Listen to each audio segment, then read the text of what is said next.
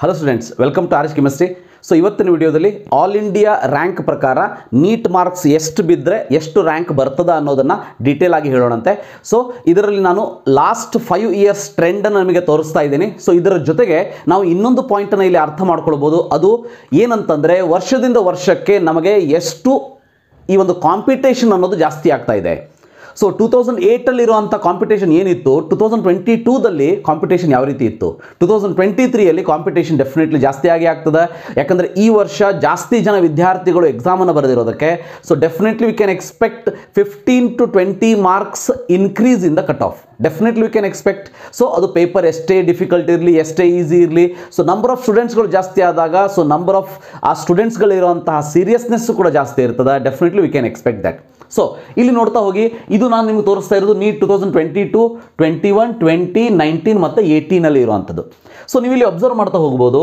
So two thousand ಏಯ್ಟೀನಲ್ಲಿ maximum for seven twenty marks ಏನು paper ಆಗ್ತದೆ? ಅದಕ್ಕೆ maximum ಆಗಿರೋದೇ six ninety one so six ninety ಒನ್ಗೆ first rank so ಇಲ್ಲಿ ನೋಡಿ seven zero one ಆಯಿತು. ಟ್ವೆಂಟಿಯಲ್ಲಿ seven twenty ಎರಡು ಜನ ವಿದ್ಯಾರ್ಥಿಗಳು ಸೆವೆನ್ ಟ್ವೆಂಟಿಯನ್ನು ತೆಗೆದುಕೊಂಡ್ರು.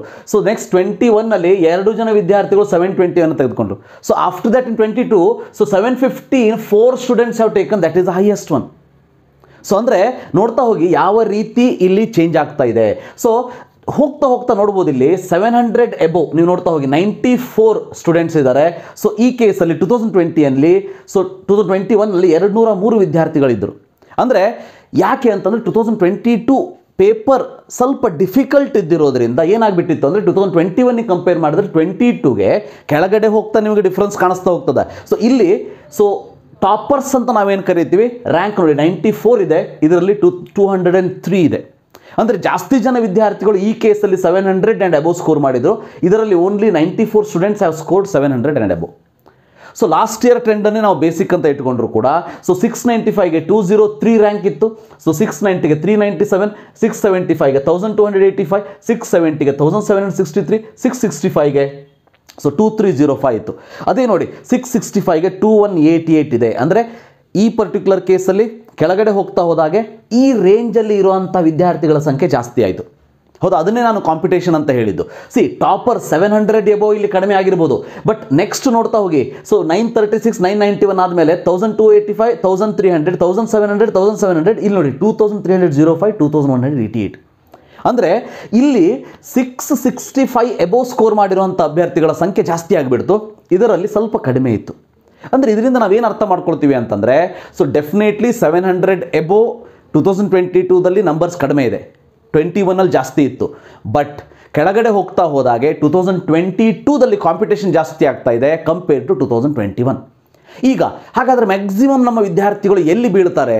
So definitely remember four fifty to five seventy five eighty ರೇಂಜಲ್ಲಿ ಭಾಳ ಜನ ವಿದ್ಯಾರ್ಥಿಗಳು ಬರುವಂಥದ್ದು.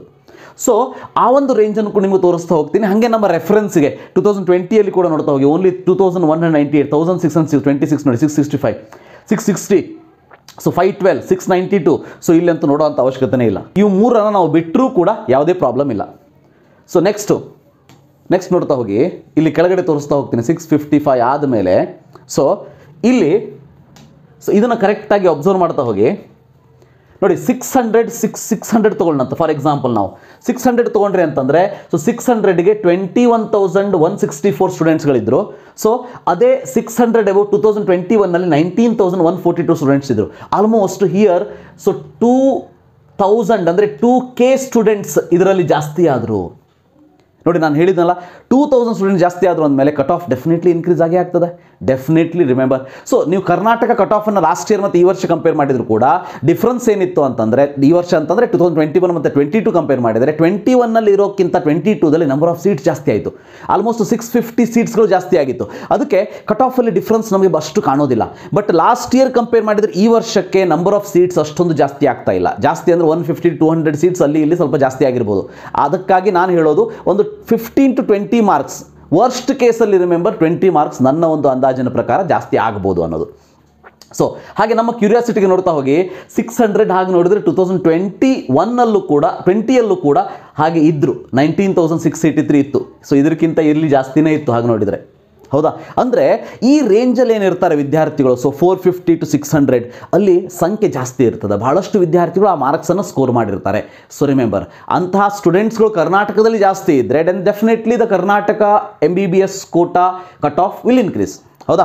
ಸೊ ಇಲ್ಲಿ ಹಾಗೆ ನಮ್ಮ ಕ್ಯೂರಿಯಾಸಿಟಿ ನೋಡ್ತಾ ಹೋಗಿ five seventy thirty seven thousand forty one ಸ್ಟೂಡೆಂಟ್ಸ್ಗಳಿದ್ದರೆ so ಇಲ್ಲಿ thirty four thousand two seventy six ಇತ್ತು almost remember three thousand three K increase we can observe three K increase you can observe ಅದೇ ರೀತಿ, ನೀವು ಹಾಗೆ ನಮ್ಮ ಕ್ಯೂರಿಯಾಸಿಟಿಗೆ ನಾವು ನೋಡ್ತಾ ಹೋಗೋಣಂತೆ.